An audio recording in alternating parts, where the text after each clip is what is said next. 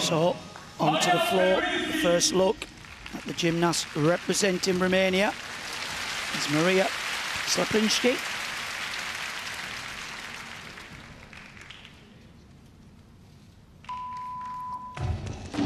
She's qualified for floor final, so this should be a impressive routine, and that was a very good opening jump. Super double straight opening tumble.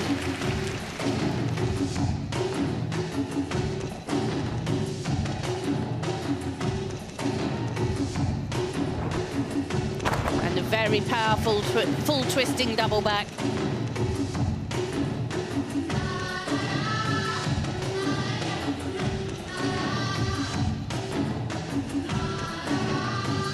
Good height and split on the leaps.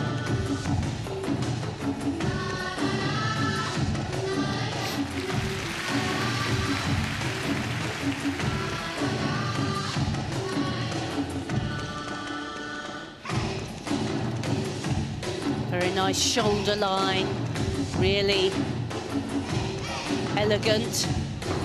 Oh, lovely double tuck into punch front.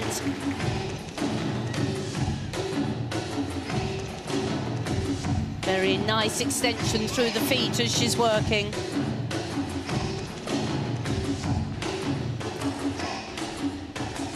Needs a big tumble here. Very controlled double pike. Well, a very well controlled and choreographed routine, reminiscent of the great gymnasts we've seen from Romania over the years. Fantastic performance from the young 16-year-old and really nice to